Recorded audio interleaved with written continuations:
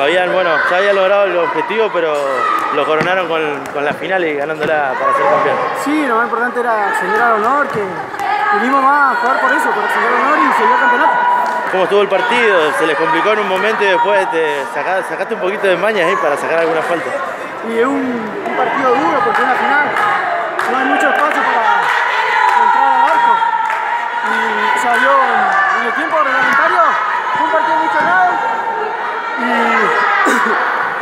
Eh, no, no sé qué decir. No sé qué eh, bueno, Leiro, este, una, una, gran campaña, un gran año para vos, sobre todo porque aparte estás citado para, para los juveniles, así que venís haciendo un buen, un buen trabajo. Creo.